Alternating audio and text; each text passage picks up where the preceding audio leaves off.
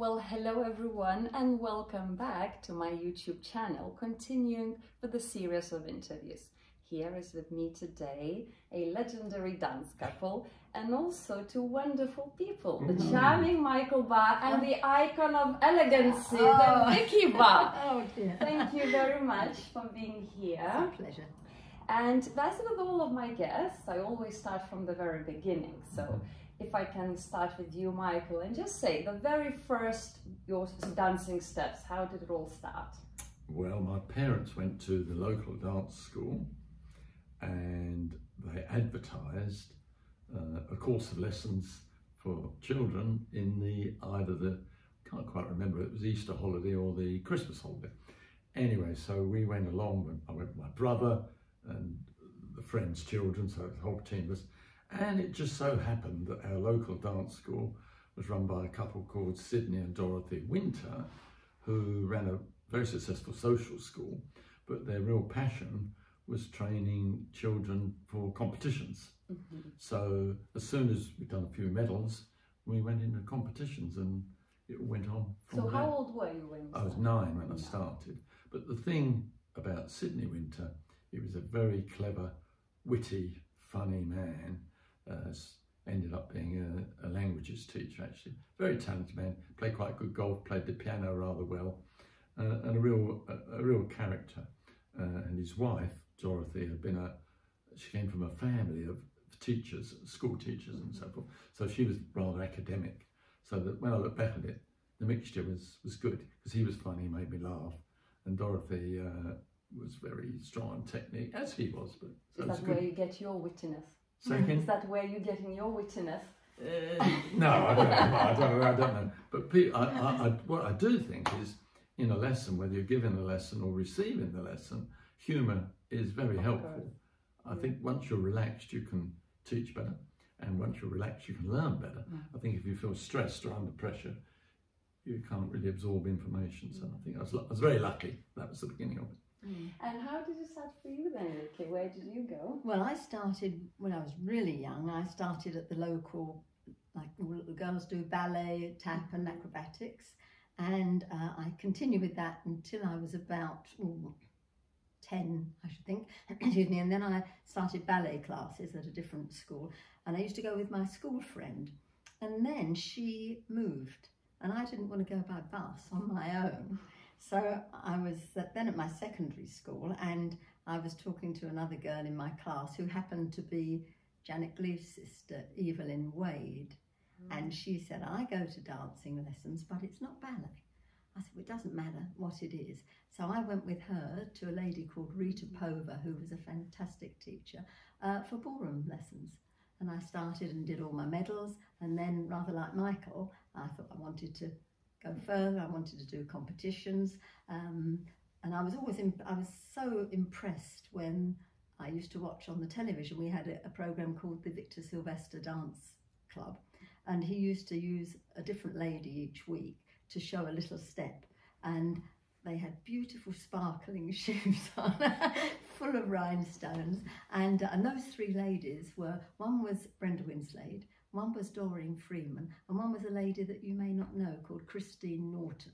And they were all very beautiful. Uh, so from that, I wanted to do competition dancing, and then that's how it went on from there. Then I did competition dancing, yeah. From So you danced at that point solo, or you had some like big, uh, different partners, obviously? We weren't in the same school. So yeah. So you, uh, from No, you where? see, he's a little older than me, so he was junior before me. Ah. Not much older. so did you live quite far apart Oh, at that yeah, time? Yeah. Yeah, I lived in northwest London. Harrow, Right. And Vicky lived in East London. Uh-huh. So how did you eventually now two Mess? Well, that's, that's a, quite interesting. We- We've both been, uh, we kind of vaguely knew each other because we've both been junior champions at Mm-hmm. the international, for example, which we just had.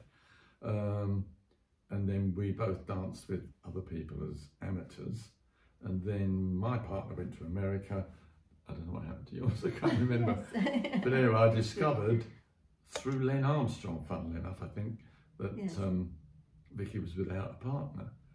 So I therefore contacted her, and then we finally started dancing when I was 20 and Vicky was 18. Right. That's So individual up to then you were winning juveniles and juniors. Yeah. uh, Yeah. Well, Yeah. I didn't dance as a juvenile in Mhm. competitions. Right. I danced as only started as a junior. Right. Michael, of course, in the days when he was a juvenile, it was just under 16. Because So you've got under these 16 grade. Tiny Mm. little children Mm. against 16 year olds. So Mm. that's. And quite interestingly, the uh, Blackpool on the Monday night, you had the junior championship on the Monday night at the May Festival. There was no separate junior festival. Mhm. That shows you how it's grown. It was just the one competition, Mm. junior Yeah. ballroom, on the On Monday Monday night night. of the May Festival. Yeah. So, and at that point, you danced ballroom and Latin, or you Sure. straight away knew just ballroom? No, ballroom and Latin. No, we did ballroom. And and did you equally like both, or you just? I, yeah, I, I did. I equally liked liked both. Yes, I think did, I always yeah. preferred ballroom. I think you probably always did I prefer uh, ballroom. I enjoyed Latin, Yeah, and we danced Latin, yeah, well, the way through. professionally, yeah. When we turned pro, still doing Yeah, we're still of doing Latin. Latin, yeah. But it was yeah. always a secondary thing for us, I think. I think what happens, you, I suppose, you do competitions and then you possibly do better in one style than the other, and then unless you're going to actually do 10, 10 dances seriously, you make a choice which one you, you want to go. And for. how was difficult now? So you started a new partnership. You're dancing together. Mm. How easy or difficult Ah. was to get that molded I- together? Mm, I thought this, it'll keep me dancing until I find something better. I Oh, really? Oh, that's because I, truth coming out. because I thought I thought he's too tall for me. I I thought- said she's too short. yeah, so me. I thought, well, okay, this uh, it, it's well, it'll keep us both keep us both dancing. And then, unbeknown to me, Michael entered us, entered us in the under twenty one at Blackpool. Five we'd, weeks. We'd only been together Oh, a short time. Wow. Five Uh, weeks. And you did not know that. well, I didn't know he'd entered. Anyway, he entered Right. us, and we danced in it, and we finished second. Oh. So that was quite encouraging. And then we've um, Kept we've going. been We're still, together still not quite sure.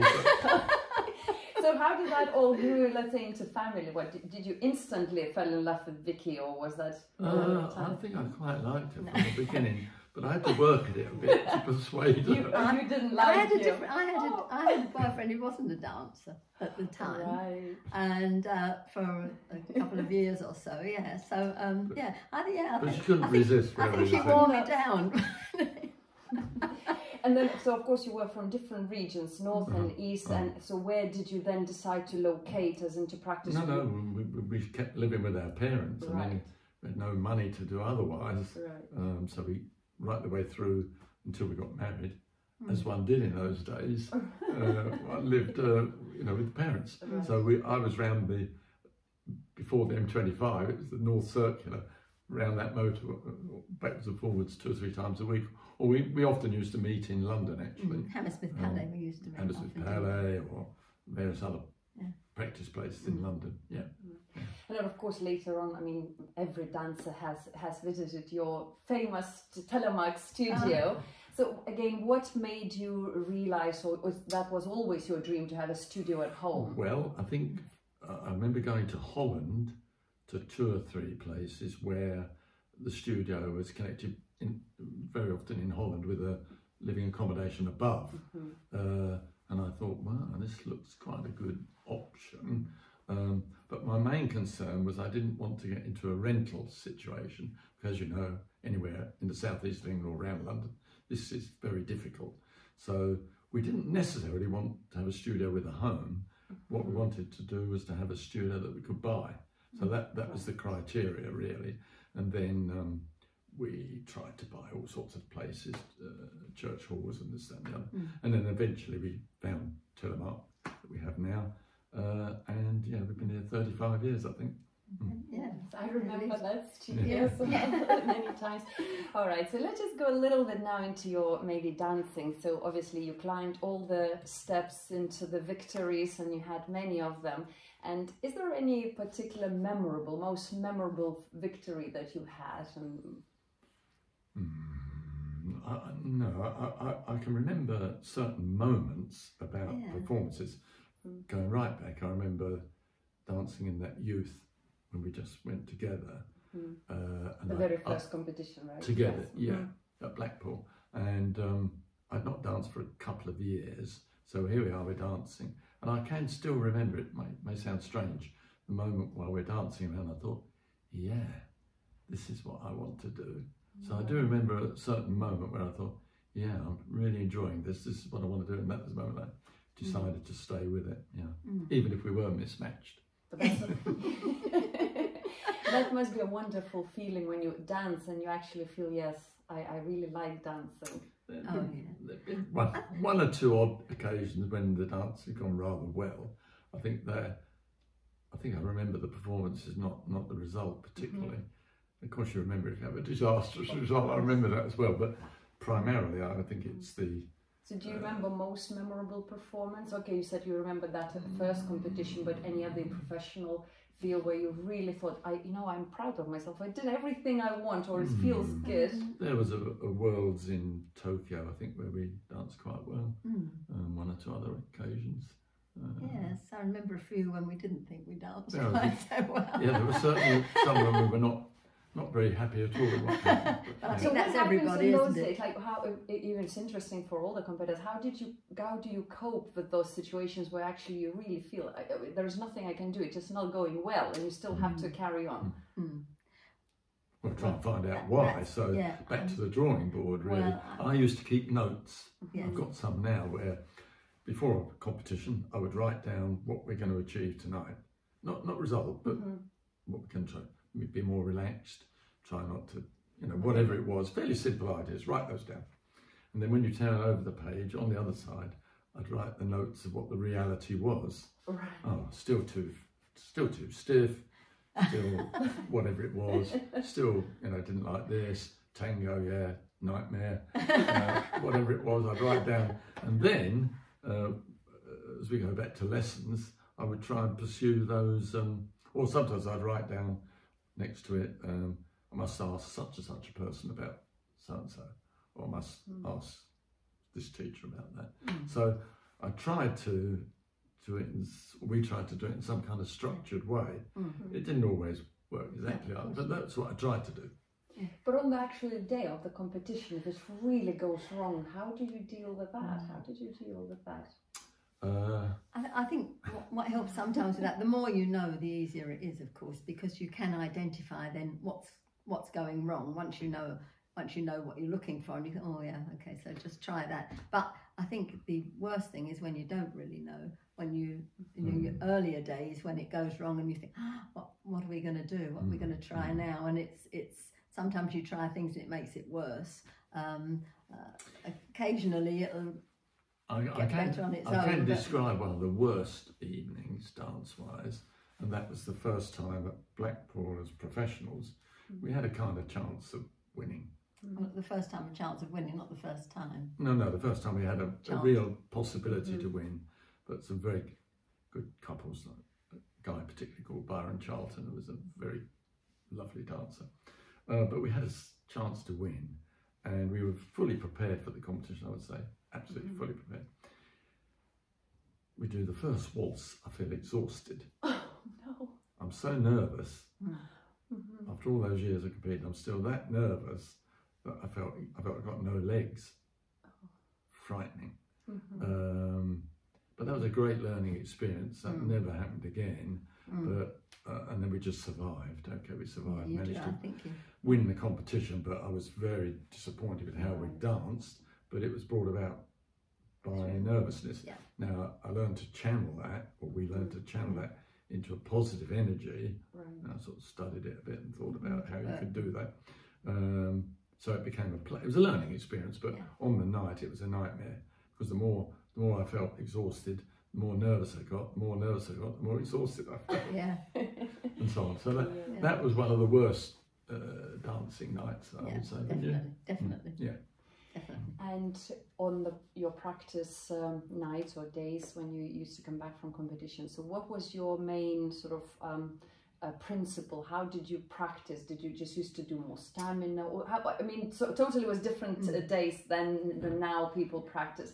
But did you have certain ways of practicing so, and not arguing or arguing? I don't know. I, I think you need two types of Two practice. types. You need the analytical type of practice, Mm-hmm. Where you're taking things apart that haven't gone well or trying to improve things. And then I think you also need the type of practice where you dance and you don't stop if it feels awful, so that you have that build up as well as, as the stamina. I mean, these days, In amongst other people. in amongst other Right, people. yes, Oh yes, of course, yeah. definitely. Public in the practice. reality of being on the floor with other people, yeah, definitely, definitely. But I think these days it's different. People spend a lot more time in gyms and physically Yes. working what do you out. think of that about that? Well, we didn't used to do that. We did do we did do a little bit of. We had this that thing called the um, Canadian exercise thing, the Canadian mountain. And we used to very go a little bit of running, limited, uh, under our own steam. We didn't have any special advice, which these days perhaps Probably we do. perhaps we would have. But we always imbued that physical training Mm. as like an insurance policy if it wasn't going well. Because when you're really dancing well, when it's on song and everything is timed beautifully, it, it's relatively Hmm.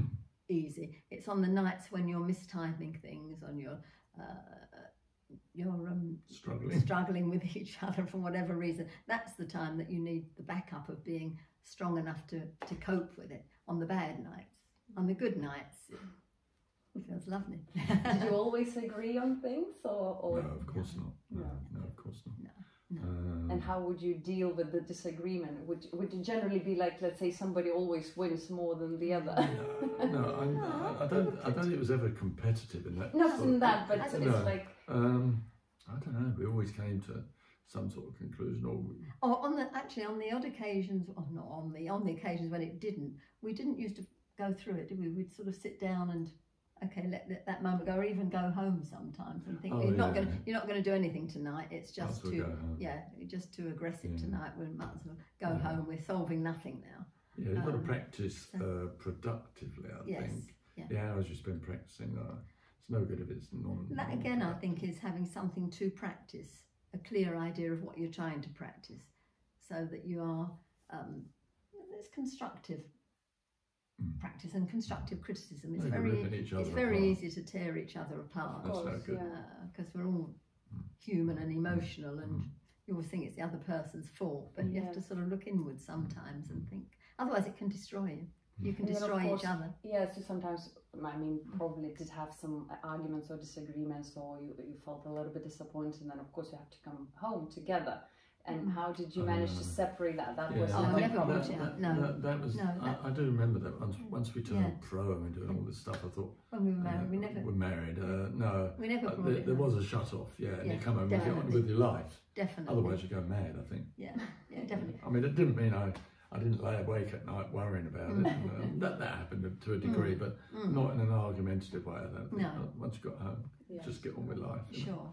I mean, occasionally after shows, if it hadn't gone well, Oh, a after few- shows, sometimes the shirts would the sort shirt of go hit the flying floor across the floor. it gone badly. So what was the the worst memory of some kind of show performance where everything was going wrong on the day, and, and um, in a funny maybe even we, way? we, we Canada. one, this is way on in our career. We we flew to Vancouver, got off the plane, did a show. Silly. Well, I was off balance walking on. Never mind dancing. so you got off of, off that long flight. Music starts and you dance. Well, that was a disaster. Yeah.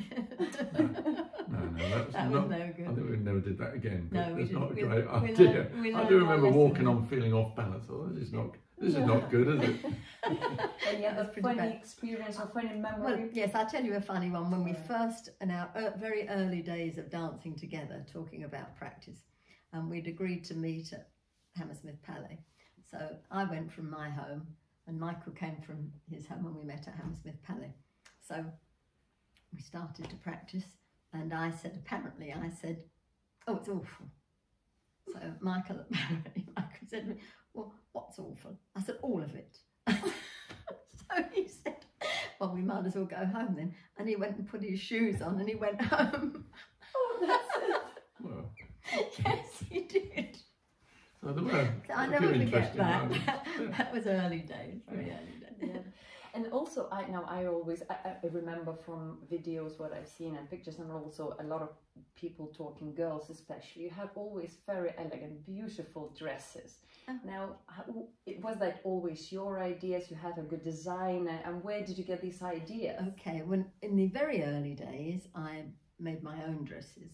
Very, very early days, and then um, I had a couple of dresses made from a lady called Myra Chat, who used to Mm. make a lot of the dresses. But then eventually, uh, a girl called Helen Ritchie, who was a Latin dancer, now Australian, she now lives in Australia. She used to make them for me, and she designed them. She was really Very really good. talented. very, very talented. Um, and then when she stopped making them, when she was too busy with her own uh, things that she was doing, her own career, um, she still used to design them for me. And a lovely young lady called Jackie used to make them for me, who unfortunately is no longer no longer with us. So Because I I was remember your dress always looked different, always Yeah. different style. Helen, Helen was, was clever, Helen was clever, very clever, clever designer, wasn't she? She was terrific. Yeah, very, very good. Yeah. But early days, I made my own, but not like latterly. today's dresses. No, today the fabulous, aren't dresses are fabulous, aren't they? Yes, for sure. Fabulous. Fantastic dresses today, beautiful. Yes, and a little bit now maybe going into actual dance itself. So what's for you what was always your priority in dance? Of course, at different couples, that's how you develop your style, I guess. But what is priority for you in in your dance? Hmm. Well, I think uh, the way you dance, based on good technique, will always depend on your personalities and your physique. I guess that will obviously um, determine how you The done, time how it comes out, how, how the end looks. result comes out. Yes, But yeah. always based upon very strong techniques. That Mm. you can you can only be as good as your technique allows you to Mm. be, which you you know Mm. so well. Uh, so it is the technique that releases you and allows you the possibility to do many things. Without strong technique, you don't have that Mm. possibility. So I think once the technique is at a sufficient level, then you can dance how you want to dance. So you and I may wish to dance somewhat differently, uh, but based on great techniques. I think I, I realised that early on. Mm. Um, and once I started to feel, I was, if you like, on balance, well, I feel I've got a chance to do something with it and turn it into how I would like it to be. I think always the driving force for me from a very young age has been music because I've always liked uh, big band music and jazz, that's my Mhm. sort of thing. And it's quite strange that the first record I bought when I was probably about, I don't know, maybe 10 or 11 years of age was Earl Bostic, great jazz saxophonist, Wow. playing Flamingo. Now that's not normal music for a young boy yeah, to no. so, so that was a tremendous influence, that kind of music, and I think that's really what what I was into. Yeah, Yeah, because I think the ultimate goal has got to be great musical dancing, Mm, it? It's got sure. to be that. And I think your way up to that is by getting good technique. So I think the, the technique is the first rung of the ladder, really, isn't it? Getting the Yeah. technique right. That's the beginning of the journey to get you to be able to produce what you're capable of producing uh, and um, uh, exploiting the music, getting the music out. Um, so I know that I'm always drawn to people that are musical dancers. That warmth and musicality Yes, always yes. draws me to them. But um, you've got to have the other things in place to be able to do that successfully. And did you take any? Uh, of course, it's popular now. And again, uh, did you take any maybe separate classes, as in uh, music or in um, in other styles or No, I anything to develop your thoughts, no, or you I- just studied yourself? no, I tended to pursue those things, Yeah. having retired. Right. Looked into some physical things a bit more uh, and musical things a bit Mhm. more after the event, which is Mm. strange, really. Mm. Probably some of the things I read in later years, and this might sound rather conceited. I thought I'd discovered those myself Yes. Right. through things through experience. Yes. Yeah. And yes. then I read Mm. uh, various people.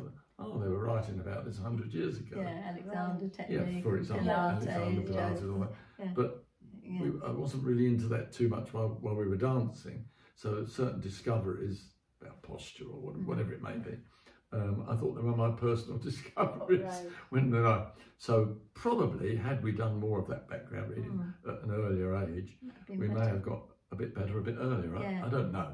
Hmm. I think things move on, don't they? Yeah. Yes. Of I mean, yes. uh, Every bit of wide experience you can get, It- I would encourage yeah. all couples to yeah to read Yes. and to look into different things. Uh, look at some of what sports people do and uh, musicians do. Yeah. Yeah, all knowledge is, is never wasted, no, is it? Yeah. definitely, Yeah. definitely. And so, what was your uh, main uh, team of uh, teachers? Obviously, you had few. So Well, we were fortunate enough to have a very long, a very long career. So they sort of died as we went along. So, so, so it changed a bit. No, I mean, the tremendous influence when we first started together was Len Scrivener.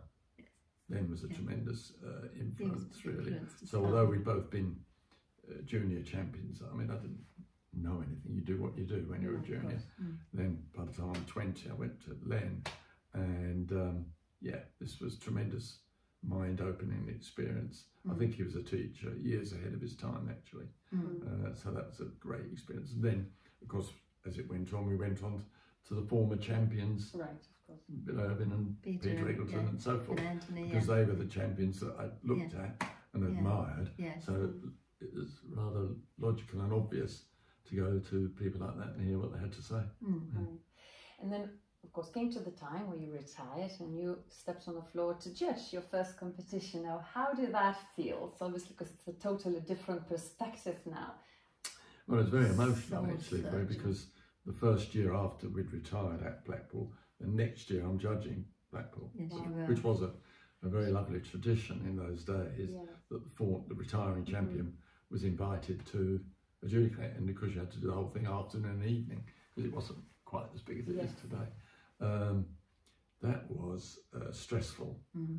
Um, and that's the, that's the Mm. best you're ever going to be, I think, as an I, think- I think adjudicator, because you still remember very clearly all The the, pain. pain and all the Yeah. anxiety and Yeah. how important it is to everybody out yes, it's there. their life, their and- livelihoods. And then you just do your best. Yeah. Mm, but But also, did it make you uh, uh, understand also a few things? Because when you compete and you're dancing, you're thinking uh, certain things, and then of course, when you look now at that dancing as a comp- uh, judge, you understand more Yeah. of the things. I think as the well? priorities become crystal clear. Yes. Mm. You realise that some sometimes quite superficial things Yes. have a disproportionate importance because you're looking and you like it or you don't like it Mm. in that much time. Mm. Mm. Yeah. Tough job though, judging. It's, judging is hard. I think it's tough. I Mm. think it's a tough job. Yeah. Yeah. To really But very important job. assess in the time available. It's uh, it's very important. Yeah. But it's a tough job. Mm. Yeah. And- And, a lot of soul searching. Yeah. And then uh, when you retired, you still carried on with doing shows for some Mm. Oh, time. quite a long time. Yes, we did, didn't we? Yeah, that was prob- few. probably our best dancing in the next uh, Yeah. four or five years. Yes. Uh, then eventually you end up to too, too much teaching, too many other things, and not practicing enough, and so Yeah. that went. But those four or five years after we uh, retired, I really I think all the enjoyed. pressure's off, and it's Yeah, nothing to prove, just Yeah. dance and enjoy it, and hope the people enjoy it, which Yeah. is rather nice. Yeah. Okay. yes. And then, of course, uh, you know, uh, quite a few decades now uh, since you first started. Long to- You're very polite. and do you feel? Well, it's a wrong question. Of course, dance changed and evolved, course. changed. Certain things definitely better, but certain things not Mm. necessarily. Some Mm. things are gone, I think, worse. Yeah. So, in your eyes, what things gone better and what's gone not so better? Ah, everybody's better prepared, they're fitter, stronger. Uh, yeah. But that that's a two-edged sword, we would say, Mhm. because yeah, fitter and stronger. Therefore, even when it's not very good, they can hold it together and and bash it around the floor sometimes, um, which is not really desirable. Mm. But uh, everybody, even down to juniors, can all perform Yes. they can all put on a show and perform. I don't necessarily like what comes out at the end, but there's a tremendous ability to Mhm. to perform, and you don't see anybody looking unprepared really, No. or, or completely out of their depth. You just don't don't see that. And of course, the the base of the pyramid is much bigger now. There are so many talented, R- Worldwide, so much talent. yes. There's more world. talent in our Yes. world now, Yes. ballroom and Latin, than there, Yeah. there's ever been. I'm sure. Yes. um, and some we like the way it's developed, and some we don't. Yes. But but the the pool of talent is huge, Mm. tremendous, because people come from almost everywhere. Mm. Yes, I think I think in a way, as you said, the pool is such a big pool, and it in a way gives us a little bit of hope for the future. That Oh, Mm. sure, uh, because there was definitely less people when Mm. you Yeah, danced. sure. Yes. sure. Well, Oh, was, no. yes. Uh, dancing will survive all the difficulties we've had the last. Yes, and it will two or three always change and Oh, it must do as a living. develop. It's got to. It's a form, it to living, change and breathing thing. And some things we like and some things we won't like. Mm. I guess that's every generation does that. Mm. Some things we would prefer as it was. Some things we think are are, are better. And yet, yeah. and yet, still, and we've seen it recently this last week with all the things we've seen. When you see beautiful musical dancing, two people dancing in a stress-free way, Mm. it gets an, a reaction. Mhm. People recognise. They may not know what they're really Mm. seeing, but um, it gets a reaction. I And I think, think- people recognise I think anybody who does anything well, it doesn't matter if it's dancing or whatever it is, um, they make the difficult look easy. Mhm. So it's the effortless performance, Yes. the, the power of performance. Um, of course, very full volume, a full musical, but in an effortless way. I think when it looks hard work, Yeah. if that for me is not, if it looks aggressive and hard work, then it's not the, the type that I would like. But uh, but powerful, yeah, sure, but mm, looking easy. Effortless power. I suppose. Yes, effortless yes. power. It's a cliche, Exactly, but exactly. uh, it's a cliche, yes, but Yeah. sure. nevertheless yeah. true. Yeah. And let's say, what would you like to see in the next 10 years in dancing? Oh, yeah. Oh, that's a question. would like. Oh, I would like to see the development be through greater musical expression. It cannot become any more physical or any more, yeah, physical. I, I think that's not or faster. No. I would love to see the construction improve. Yes, definitely. The construction of several of the dances yes. is, is, my opinion, awful. Really, quick step is a Yeah, there's no step and It's a mess, really. step and and this is a fantastic dance Mm, because, or could be, yeah. Yeah. because you've got so many different rhythmic different possibilities. rhythms, yeah. So if I see the same thing all the way, around, I find that very boring. All Yes, that when they start running around. Yeah. do, do, do, do. Yeah, so this the is other very, week, this is very boring. Everybody promenade and they just run boring. around Yeah. step pop chassé, Very, which is very it's very boring. And the, the, when I think back to some of the great quick step Yeah. dancers, Peter Daywood and Brenda Winslade, We've Anthony Hurley, Mm. and the changes in the rhythmical and- change is so wonderful. interesting. Wonderful, The clever wonderful. things with Yes. the, the feet. yeah, there's so many possibilities. It, Yeah, To have that all swept away yes. and just uh, go do do do do do do Yes. do do do do do. So I'd like to see that improve. yeah, Tango is the other one, of course. Yeah. Um, Mm, when you see a real tango, and I've seen a couple of those really very good ones in the last week, mm, uh, these competitions. Uh, yeah, it's outstanding, Mm, fabulous dance. mm. Uh, mm. Yes, I That's agree. what I would like to see. Yeah. Yeah, I agree with you. That's- I absolutely agree.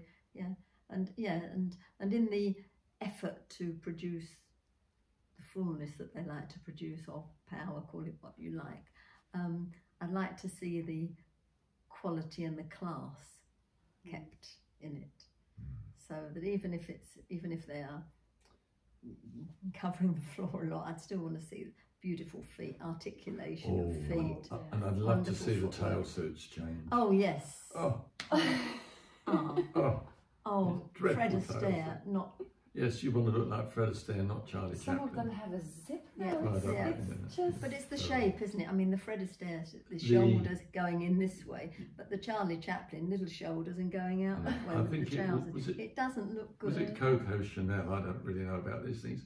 Who said it wasn't about colours? It's It- about no, it's about pro- no, not, it's not about proportions. size. It's about proportion. proportion. No, and I the think that's proportion of of a the tail tail. And indeed the ladies' dress. yeah. It's terribly important. important. Yeah, Terribly important. And Yeah. you, you get that wrong with the collar, and the collar of the shirt doesn't sit right, and Mm. sometimes the shirts don't even look very clean. Mm. I don't like. Mm. Or the way you you complain sometimes about the A collar stud the showing at the back and stuff like that. And the zip on Yeah, Oh, don't the zip. t- Well, tie yeah, your the own bow ties. No. And this sounds very old-fashioned. yeah, like, no, but it's it, with the all of the things they could of course then evolve. I mean, we may perhaps you don't want this big because at one point they're quite wide tails. Yeah, They can no, always no, no, be no, no. style, No, no, no. but keeping as you Proportion, said proportions. proportion. And I agree, Yeah. even Yeah. with the dresses Proportion. sometimes. This is, If this is narrower than this, it doesn't look Yeah. right, does it? No, No, for sure. No. I mean, yes. so that's fabulous uh, wish for, for the for the dancers in the future to wh- whatever going to watch this video perhaps in ten years time Oh, to to, There's to, a frightening thought. to listen that uh, w- will we see all of that improvement in tango and in quick step and and all the technical things on the feet and is there anything else you would like to wish before we say goodbye to the viewers Well, yeah, well, well just, just to be serious for a moment, yes I'd like the world to become a much better place so that everybody who wants to dance can travel around the world freely and Mm, yeah. dance in an unimpeded way. That would be my greatest wish. be, yes. yes. I can't Yeah, wish for anything Yeah. better than that. That everybody will feel free to go to any country they like and dance and pursue their love and of dancing. yeah, and, and that's what I would like to say that they all continue to love dancing. It's not just about results, but to actually love it and strive for the beauty of the dance and never never lose the joy of it. Really, So, happy dancing. I'd like to say. Well, that's on these beautiful words. We say goodbye for this session uh, and thank you one more time, Michael and Vicky, to Thank talk, to talk to us. it's our pleasure. Yes, and goodbye from us today. Bye. Bye. Bye.